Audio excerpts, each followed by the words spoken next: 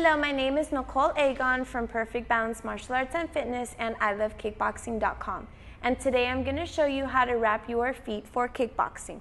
Now, this is typically what a foot wrap looks like. Um, you are going to have the Velcro on this side and you're going to go ahead and unravel it to find the place where you're going to stick your big toe into and that's where you're going to start, your starting off point. Um, these wraps are red. They come in all different colors. It depends on what it is that you prefer. I do like the red, so that's why I went ahead and chose that for today. Um, this is the beginning point, and this is where you're going to go ahead and put your big toe.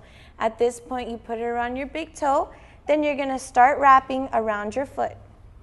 You start in the beginning around where your toes are so that you can go ahead and wrap tightly. Those are where most of the injuries do take place. So you really want to make sure that it's snug around that area of the foot.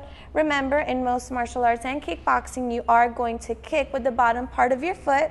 So you want to make sure it's snug enough that it's comfortable, but also make sure that you do have enough circulation so that you can go ahead and uh, execute the kicks as you need to.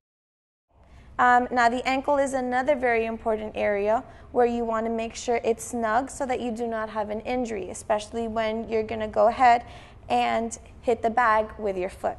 So you're going to go ahead, wind it up, make sure that it's tight around the ankle, but comfortable to go ahead and move around.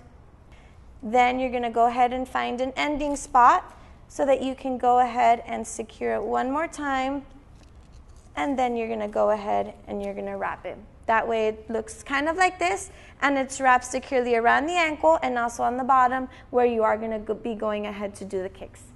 My name is Nicole Agon from Perfect Balance Martial Arts and Fitness and I love kickboxing.com and I have just shown you how to wrap your feet for kickboxing.